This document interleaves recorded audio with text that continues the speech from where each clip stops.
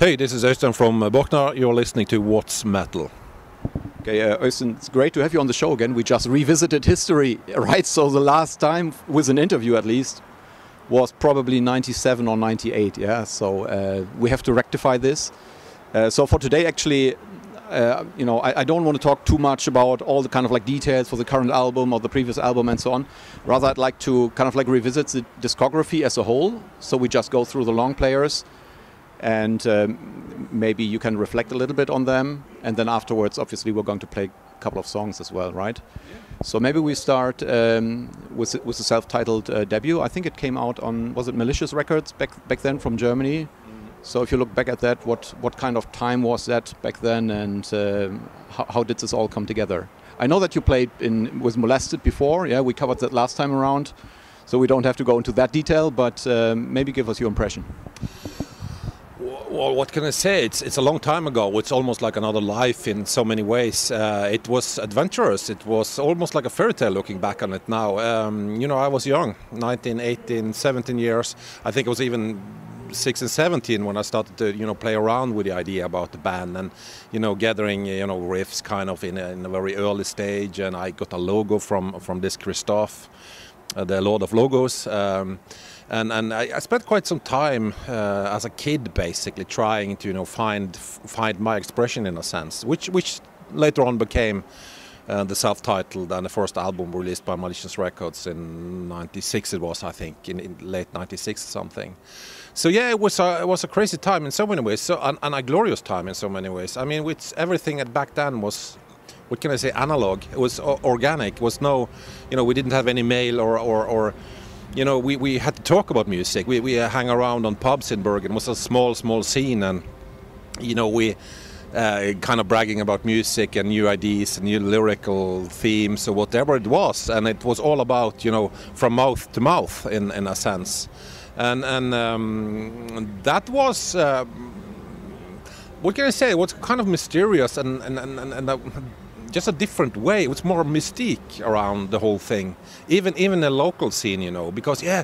Yeah, some some bands in, in Bergen at that time, yeah, had a new demo, but, but none of none of us have heard about it or heard it yet because, you know, you actually needed to get the tape to listen to it, and you have to get get home to have a cassette player to play it. You know, you couldn't just just flip your phone and show the cover and the logo and, and play off some songs. You know, so you know that was, was so different times, but so great times in a way because it, it I think it made you know the long runners like us, uh, all this like us that still are going on. It's like it, it made us hard skinned in a sense. We we we had to go the long long way to make it you know make it happen. I, I started playing guitar and make music like I was when I was like 15 or 16 years old, I think. Very kind of determined to do something, be serious. I've always been that in my life. Whatever I do, I'm that serious about it. No, nothing stops me. So, so I, you know, I, as you mentioned, I had molested before that, and doing that, I, I, kind of got somehow the the undergroundish tape trading connections or network all over the world. So I kind of build on that in you know all the contacts I had at that time and I just pushed on making music, and and uh, there was no limits. You know, there was um, just I was thinking music 24/7 at that time. Uh, I was also into the whole thing, and to be quite honest, I think you had to do that back then to be able to to succeed somehow, to to to to cut through the, the scene and to make um, people notice you, because you know. It, there was was no way around. There was no easy solution, no quick fix. You, you couldn't, you know, uh, surf on a, a, a, successful video on YouTube or anything like that, or Netflix, no Netflix, but um, Spotify, or, you know, you had to make it the old way, and and that was a different game, I would say, and and gave me a lot as a musician, and and I think that is. Um, I made a foundation back then, which have made me going on for all these years you know the music business is ups and downs. It's it's tough sometimes. Other times like today and tonight it's great awesome you know play a show in front of people and all that. But there's also a lot of you know heavy burdens. You have to do sacrifices priority regarding you know family and whatnot uh, girlfriends and stuff. So so it it um, it was tougher, I would say, back then in many ways. But but if you made it, you kind of had a foundation that is, I would say, much stronger than than you might get today as a young band. Let me pick up one thing that you mentioned, which was that even in the local scene in Bergen, you had to dig for for the demo tapes that you haven't listened to yet. So how then comes the connection to Malicious Records, who, who, who operated from, from not too far away from here, actually, in Stuttgart? Um, because back then, actually, they sent us a promo for the first album back then, and I remember the info sheet said uh, that they distributed 300 copies as promo. Yeah, and, uh, back then we felt kind of like humble to receive it. Yeah, and it was noticeably different. So, so how did that link come with with Malicious Records? Well, well, that was kind of a weird story, or not weird, kind of uh, almost too mundane in a sense. I remember we at that time we lived in Bergen, uh, like like the part of Bergen that is kind of Sandviken it's called, and, and close by, pretty much my neighbor was was Infernus from Gorgoroth. He li lived just up the street, and we was hanging a lot together at that time, drinking wine and you know uh, sharing a dinner. And he came visiting me and my my no wife and I visited him, and he had late evenings, and, and you know had uh, listening music, drinking wine, uh, especially a lot of wine at that time. I remember. Um, and I remember just we, we I don't know after a couple of rehearsals we had some songs on rehearsal tape recorded on the rehearsal. We, we kind of felt that okay we have something going here. And I remember um, Infernus came for a dinner uh, like late evening or something or a Sunday or something like that. And and we just talked about yeah we should release this as an album and go to studio and you know get the funds and all that to, to make an album actually to realize the album and he was just yeah let me call Garrett at Malicious Records. And I was like oh shit yeah yeah whatever. And you know at that time it was expensive to call you know abroad with a landline like like 10 you know one euro a minute or something like that. So I was like yeah but make it short Roger.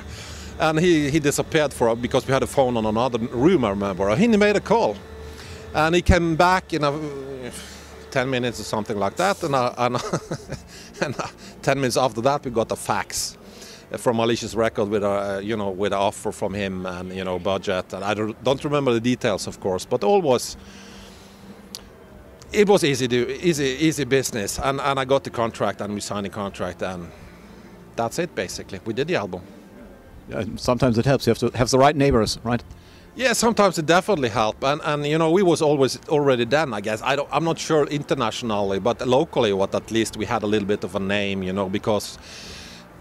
You know, maybe not me, but Infernus had a bit name because of Gorgoroth, and Ivar from Enslaved was involved, and Grim, or Erik, as I, I prefer to call him, uh, the, the, the late drummer, he was into Gorgoroth Immortal and stuff. So we had a little bit of fame you know, um, helping us maybe a little bit, you know, the name, the branding thing. Um, so yeah, that was that was basically it. And, and the, the, first couple of months with Malicious Records was awesome. I remember he he offered to pay, you know, buy us guitars and equipment, and I was like, what the fuck, this, you know, where do you get all the money from? But but apparently that at that time, you know, releasing a black metal album was was kind of a little bit of a gold rush for some people, you know. So so we had a good budget, was able to pay the for studio and spend the time we needed. And you know, back then that was not, that was rare. You know, being able for a, a metal band in Bergen to go to a proper studio for you know whatever weeks to record and mix an album that was expensive as fuck back then. So so you know that was a big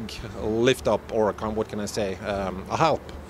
Um, so started out very good with Malicious, but it didn't didn't end too good though because he just disappeared. I don't know that story, but there was a lot of has been throughout the years a lot of um, illegal uh, illegal versions of the album and contractual things issues. But we have sorted it now, and we just released about a year ago. I think now we released a reissue of the the debut album, which is like really spent a lot of time in my studio. I remastered like for real, not just a copy of a copy, but I did uh, have a high-end studio, mastering studio at home. So I did uh, did um, uh, rip the the original mixes from from the original mixtapes, and and did a proper remastering of the album. And we collected a bunch of of um, I collect a bunch of archive photos and uh, extra material, and, and even the lyrics, which have people have been asking me for years and years. You know, I, I wanted to keep those secret, but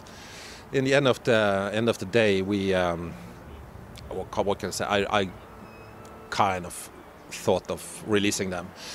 Actually, a reason why people ask me about it because you know the mysterious thing about the lyrics and stuff. But but I saw some you know comments and stuff on on the internet uh, that there was like some you know um, discussions and you know uh, somebody insinuating that we had some dodgy lyrics going like like fascist lyrics or something like that and that just okay fuck that I've, I've always been very against that kind of uh, extreme uh, mentality or political views or whatever. So, so I then I just wanted to puncture the whole uh, discussion to, to actually release the lyrics and you know it's it's it's folk metal. It's about mountains and nature and that's all. And, you know.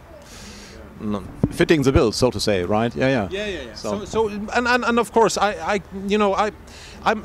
Um, I've always, you know, been a guy that I, I, want to be real about things. When I sell something, an album to people, I want to, to make it, you know, worth their money in a sense. I, I just don't want to make a copy of a copy of a copy, you know.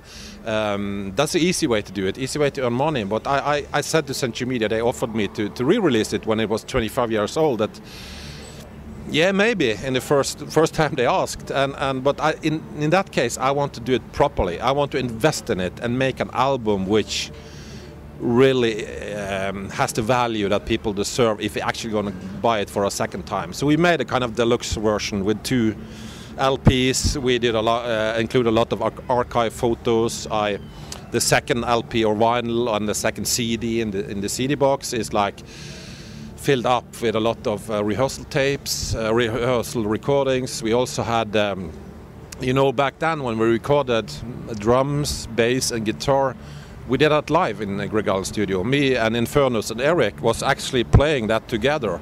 You know, the rhythm section, bass and guitars. So, so I kind of added that as well to to, to this bonus material. Uh, not not really to make people kind of uh, get completely knocked out by the sound because the sound is not that good. But I, I kind of wanted to give people some some insight in the musical evolution history of the band or, or as a testament of the band call it what you want. I, I, wanted to play with orbit cards. Therefore I kind of released everything that's connected. Everything all I have of all car, archive photos lyrics.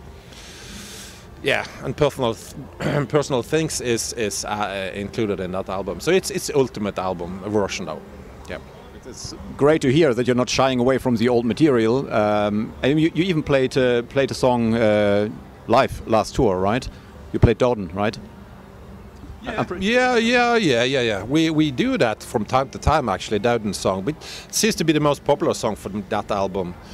Um, and yeah, maybe we should have done it this time as well. But you know, we have been around for so many years and so many albums that we have 45 minutes on this tour, and that doesn't cover one song from each album. So we have to pick, you know, so right now we want to focus a little bit on, on, on True North, of course, with three songs from that album and uh, or two, oh, and uh, Winter Thrice and stuff like that. So so um, yeah, it is what it is. Yeah, you have to make some choices. Uh, since you uh, mentioned Erik, uh, I believe he uh, he had left the band before he passed away. Is this is this right? On, on what terms did you did you part with him? there wasn't, to be quite honest with you, wasn't too good actually. I remember we were supposed to do um, a concert in Trondheim, which is north in Norway somewhere. Um, and then when we were rehearsing to that concert, um, he was like, just okay, this is it for me. We're going to do this concert, and then I'm quitting. Um, I, I, I, still don't know what it, what really was going on at that time. To be quite honest with you, I, I didn't have any big problems with him. Actually, we drove together in my car several times to to and from rehearsal place, and we talked about doing a new album and stuff like that. But there was, uh, I don't know, something going on. I, I you know, and I have to be a little bit private on this because he had some issues, um, and I think that he was involved in some some not too good habits so to speak. So, so um, I know a little bit more, of course, uh, the inside of the story, but I want to, you know, be a little bit. Um, you shouldn't disclose that on yeah. public radio, no, no. Yeah, it's it's kind of uh, keep it like that. But but it was a sad story. His, you know, his life was uh, he, he had didn't have the easiest life, so to speak. He had a background, he had a family, uh, and there was a lot a lot of issues, unfortunately. So. Um, yeah. So um, back to your releases. So uh, you moved on to Century Media to release the Olden Domain, which I thought when I heard that for the first time, it was a massive step. I think, yeah, a bit more ambitious, of course, or far more ambitious, right? What do you think of it today? I love it. I, I think that I still get the same chills uh, listening to it today that I got actually in studio in Hagen in Woodhouse. We, we did we, that was the first time I was able to actually we felt that we were you know kind of professional going to Germany, living at an apartment in Germany and recording in uh, you know the famous at that time the famous Woodhouse studio and stuff like that it was awesome. We didn't have that much time though, so we had to do everything very quick. I remember. There's a lot of flaws. There is a lot of you know things that should have been better and so on and so forth. But I remember we was doing, especially when we, me and Garm was doing the vocals and stuff, and we were supposed to do the vocals and one day off or something, and then we were supposed to do the mixing of the album.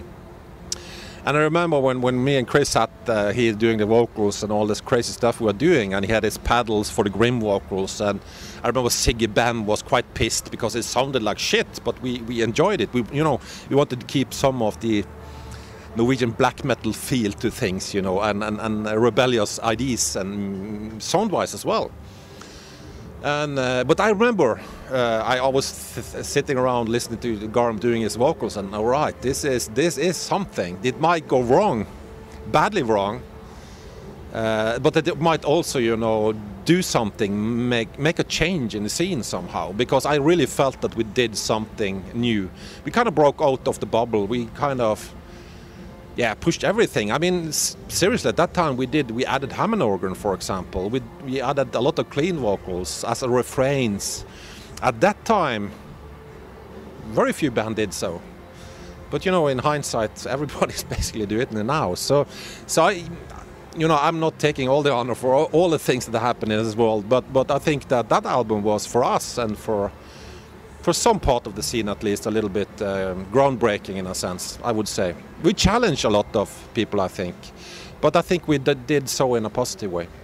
I, I would say that's even more the case for the archaic, uh, archaic course, um, which I think, well, I mean, I love that album. I nearly played it to death, I think. Yeah. Um, but this is also the album where I, for the first time, heard some kind of like you know black metal diehards to say, "Oh no, no this, they're taking this too far," you know, this, they're wimping out and whatever. But it, to me, it was like you know, yeah, you know, stepping onto new ground, really. Right?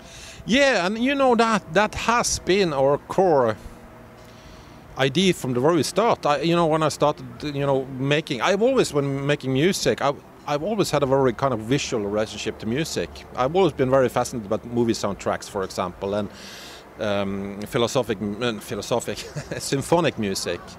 Uh, huge arrangement and stuff like that that makes kind of sonic landscapes and stuff like that. So for me, music has always been very, in a weird way, um, visual um, not by videos production or pictures or anything like that, but but music to me is and kind of I, I, get a lot of visual experience from music. When I listen to Pink Floyd, for example, I get a lot of kind of shapes and colors in my head and stuff like that. It, it you know each and every Pink Floyd song has a shape and a structure and a color in my head, and and that's something you know I I, I um, kind of always had a notion this notion with my own music. I wanted to try to do the same thing as bands as as from Pink Floyd does for me. You know, when I listen to Pink Floyd, that that brings something into my life or my, my emotional life that nothing else do in this world. I might take drugs, I might be drunk, I might be you know whatever, but it doesn't give me the same thing as Pink Floyd gives me. Um, and that was an idea I had with uh, with my band in the very early days. I wanted to you know do something musically that that adds to the whole thing, adds to the world, adds to the feeling. You know, not just something that jumps into the flow, the stream of everything. If you get my point. So I had a very kind of sharp sharp idea even back then about making my own musical universe in a sense. If I've succeeded or not, I, I don't know, but but you know that has at least been my intention, and also doing that I felt a very kind of. Uh, my father was a kind of very kind of outspoken freethinker back then, a hippie and all that.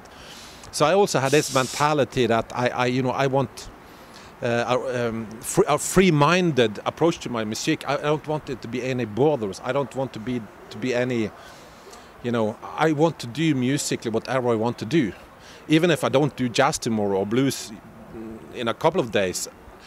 Probably not going to happen. But I, I, I just need to have the feeling that I can do that. That that I'm. I, free to do whatever I want musically. To me, that is a very important.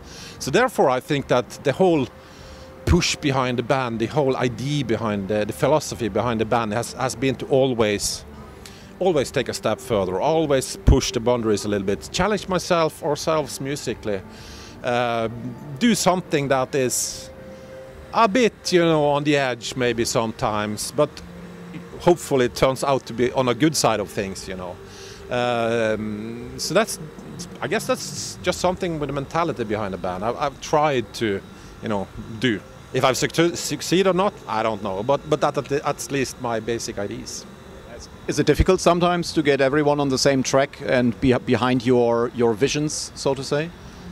It might sound complicated, but no, I think you know it's it's it's. Um, it's almost like you know I, I, would say this at this point in time uh, you know the band the whole thing that Borknagar is these days it's so much more than just me in a sense. And, and you know, the people that we have, of course, a couple of new musicians that we celebrated a couple of days ago, four years in the band.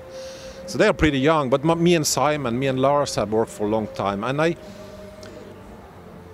even though it's so complicated, I think it's it's very somehow quite easy to um, acclimate into the band in a, in a way if you understand the basic ideas.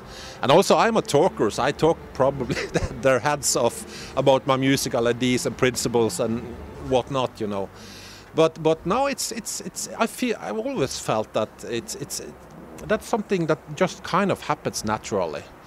Uh, it kind of just uh, when we find the right musicians, we talk. Of course, we have our like with the new when Jostein and the new drummer. Uh, not new anymore though, but but like four years ago we had a you know um, session with them meeting in Oslo and all that, and and uh,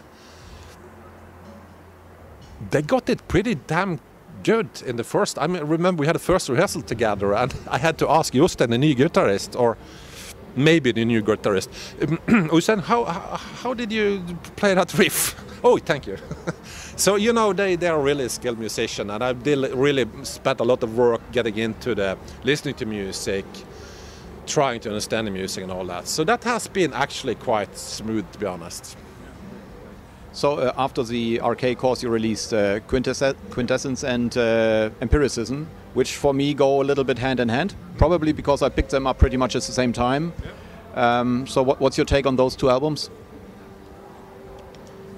Yeah, Quintessence was um, was very in, in I can, what can I say um, was a very intense time, but in a different way. I remember I spent a lot of time in Oslo. Um, we got a new drummer then, yeah.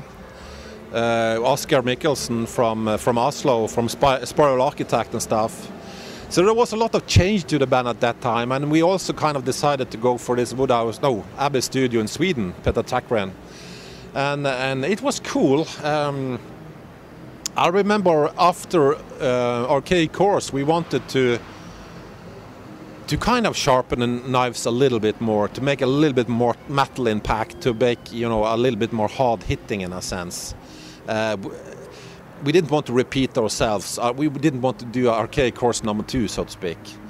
So, guess that's what we did. We rehearsed a lot in Oslo. I remember at that time, as a, as a band, we rehearsed damn a lot, and and then we. So I think that the difference, the main difference between quintessence and empiricism is roughly the fact that those songs were written pretty much in the same time span you know, when, when we were rehearsing Quintessence, I was already done writing quint, uh, empiricism. But we did go to two different, very different studios with those albums. Peter doing Quintessence album turned out the way it did. I think it sounds awesome, and I would maybe do some remastering at some point of that. But but then we did, and then we did Quintet, no, um, Empiricism, uh, yeah, the year after or something in a Norwegian studio.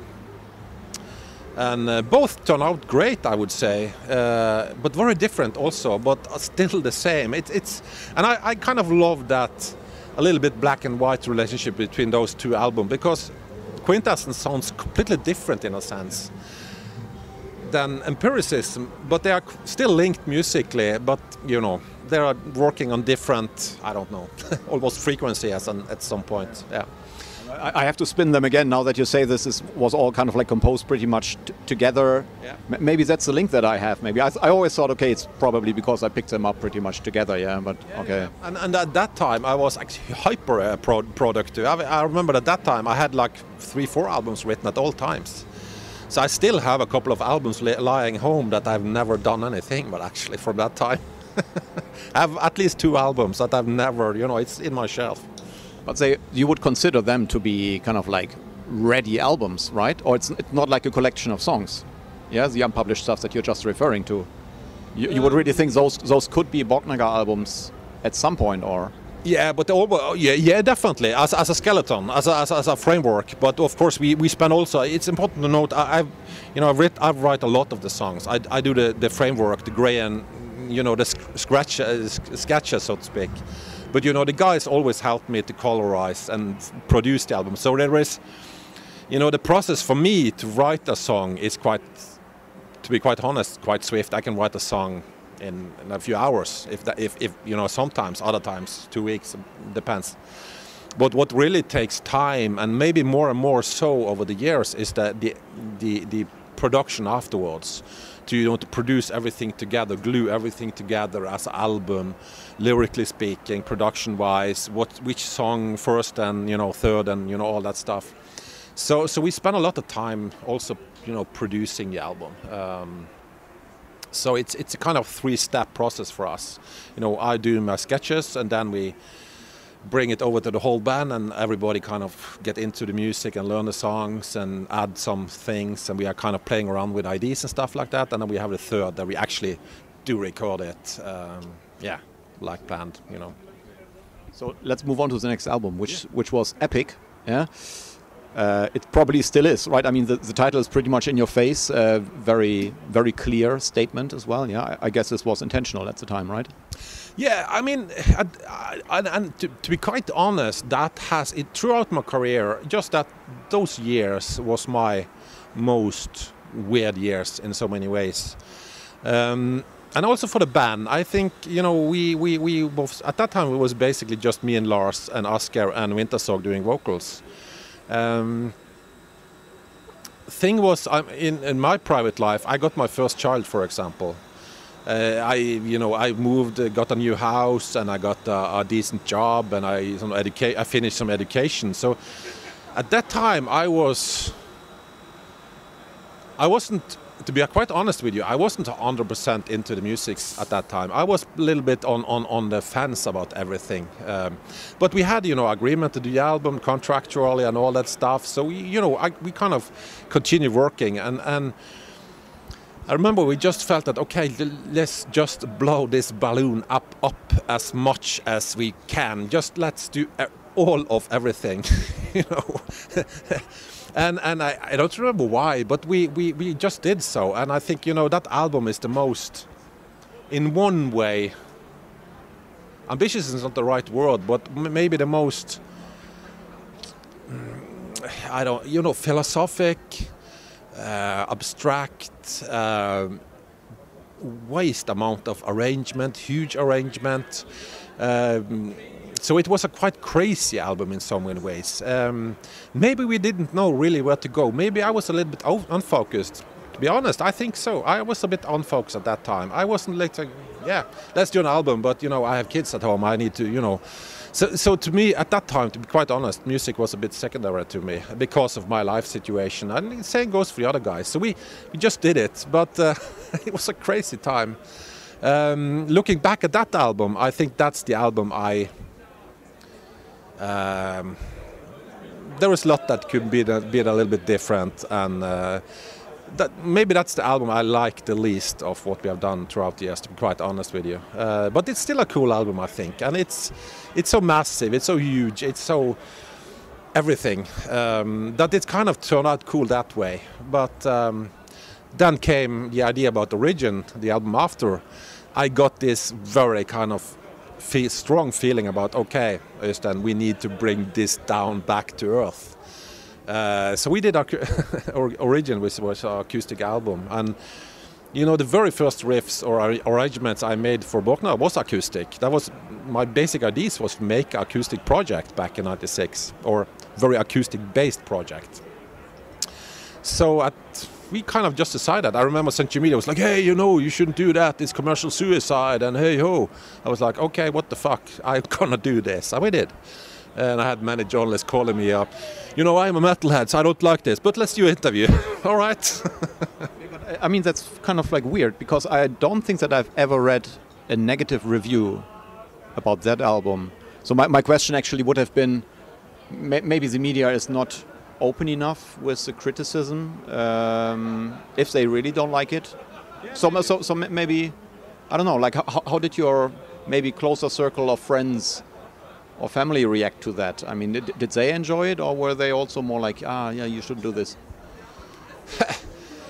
quite honest, I don't remember. I think you know we was we was quite at that time was quite satisfied doing it ourselves, uh, doing that kind of album because we got uh, involved some especially one flute flute guy from Norway that is really kind of national icon and stuff like that. So for us, locally, it was quite cool thing to do. I remember we had some local news doing interviews with me and stuff, and you know, it was a, bit, a little bit cool that the metal band did a you know a folk acoustic album and all that stuff.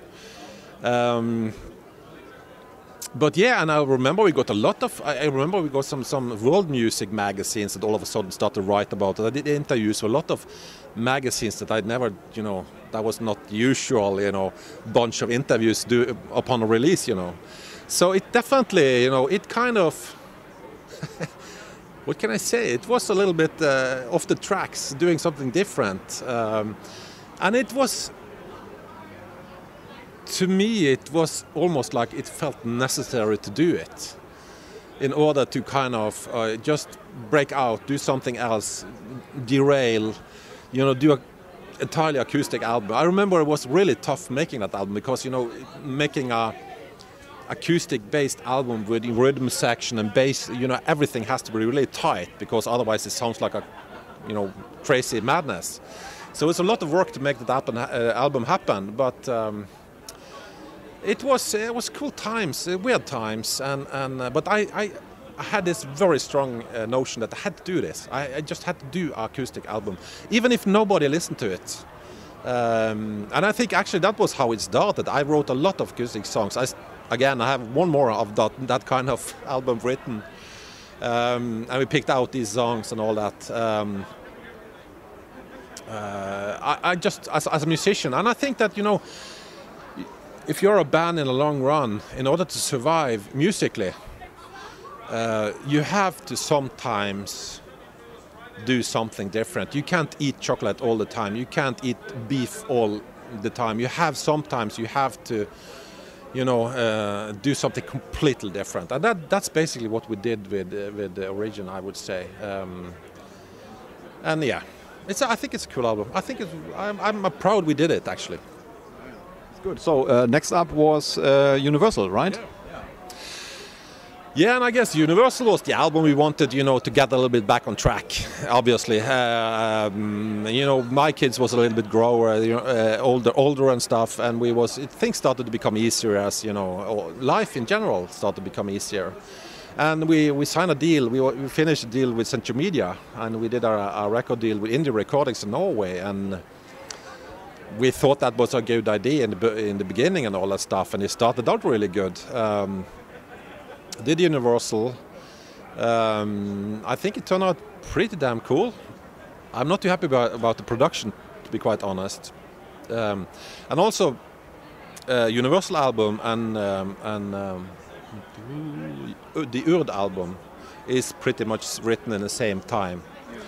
So, so um, looking back at it now, I was kind of happy with the Universal album. I wasn't too happy about the release by Indie Recordings because you know, we kind of realized after a while that shit, we have been on Century Media for for so many years, and and uh, and when uh, Universal came out, we got a lot of uh, feedback from fans. They wasn't able to get hold of the records, the distribution distribution failed, and all that. So we we kind of realized that okay, we did something not too good here. Um, so we decided to split with you know uh, with the indie recordings and and uh, go back to Century Media then. But but uh, again, Universal and the album Urd was written written pretty much over the same uh, time frame. Uh, and all there also you see different. We did this uh, Universal in a Norwegian studio, and uh, I think we during process of that album kind of realized, okay, shit, we have to we have to get some somebody else to do this. We, we get you know another studio, another producer, something had to happen because we felt that we kind of was working in circles uh, production-wise. It was a good friend of mine, uh, Toproom Studio in Norway, where he's a brilliant engineer and all that, but we felt that, okay, now we are kind of repeating ourselves too much production-wise. Unfortunately, that album suffers a little bit from that, I think, but um, yeah, so is life. Then we did Urd, which we kind of just decided, okay, let's go to the best thing in the world. What's that? Fascination Street Studio. we did and I think that album turned out fantastic. Um, so much better in so many ways, and the music comes. I don't know. It it everything fits together so much better. Uh, I would say the albums run smooth. It's cool songs. The production is awesome, and and um, I love the album. I love that album. I really dig it. Um, but it's kind of weird because I think that is 10 times better than Universal. But the songs was pre written pretty much yeah. in the same. So that's a production thing. And then actually, actually at that time I was getting more and more into producing myself. I've always been, you know, kind of producing myself because I've I've never let everybody or anybody just do my things. I've always been sitting on the with the mixing table together with the guy mixing the album. No, no, no.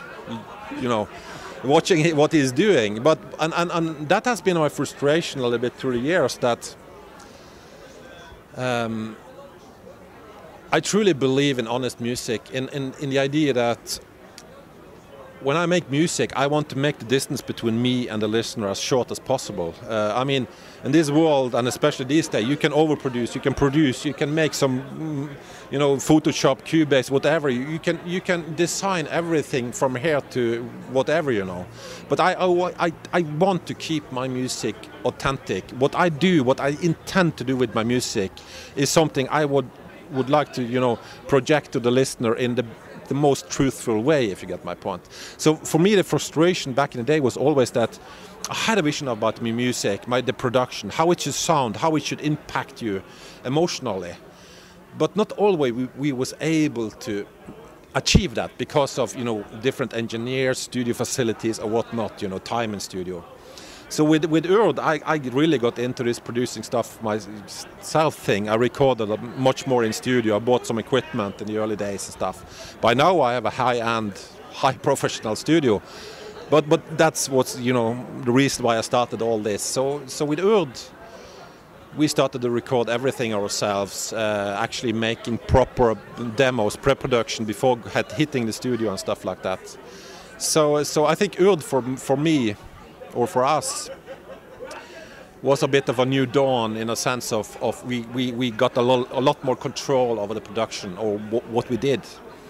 And, and um, from that album, Urd and Winter Thrice and now the latest, True North, it's, it's pretty much done, uh, yeah, pretty much the same way as, uh, yeah, the same studio, the same, I recorded everything but the drums ourselves. Drums are always recorded in a professional studio, of course. But I, I, mean, for Urd, I have to say, uh, when I listened to that, I noticed something had changed. Because that album was, to me, more immediate and it, it really sucked me in. Whereas the pre predecessors, well, I listened to them, but they didn't have the, the same appeal, let's say, as the, let's say, like, you know, the first three albums that we spoke about, where, where you could just notice, okay, there's a band on a roll that is discovering stuff and is, you know, breaking new ground and so on. I, I didn't have that for, for those in, albums in the middle. But then with Urd, something has, had changed really, right?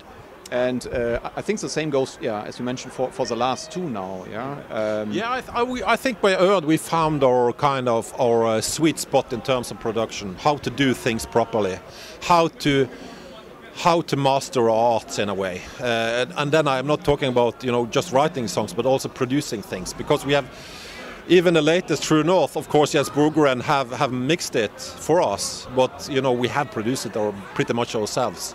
I mean I quite recently listened to some of the pre-production of True North, and at, at, at, in two seconds I was like, "Is this the album or is this the pre-production?" Because it sounded pretty damn like. So I, I think that we at, at with Urd kind of we, we got to that point in our career where we kind of got the complete control over what we are doing musically and production-wise uh, in a different, entirely different way than the the albums before. So, so that's exciting for me, and we're gonna push it even more with True North and after True North, and yeah. Let's touch on Winter Thrice for a second then as well. Uh, for, for, me, that album is massive. I really love it, and I think it's also, you know, the way it was promoted with the video clip for Winter Thrice. For me, that was, yeah, the song itself was a song that I could use to introduce other people that not necessarily listen to metal too much to the band because it's visually so captivating. It's it's kind of like insane, you know, with all the nature stuff there. Um, like who, who, yeah, who came up with that idea? Was there like a storyboard written for that? That, that you did, did you have a vision to do it like this? Because it contrasts so nicely with you guys sitting in a nice warm cabin. Yeah, no, no I mean we, it, you know, it's a kind of a story because Winter Thrice. It, it, it was almost like the stars was at the line at that point because I was writing uh, actually, the song "Winter Thrice" was a song that we was I was planning to just toss away, not use for for the album. Uh, but but then I don't remember some of the guys studio. Yeah, maybe that's a cool thing. And then I was kind of kind of coincidence. I was looking at some old picture at home, some private pictures, and you know, back in the day when we took pictures, you all, very often got the date on, on in the cover uh, corner of the uh, of the of the picture.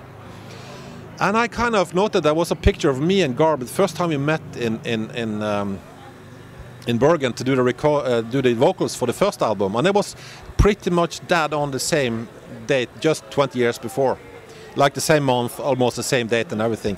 So I sent him a message, you know, to, to Garm, hey you, I have a song that it's a little bit odd, and I kind of was thinking about just tossing it, but maybe we could do something on this one, you know.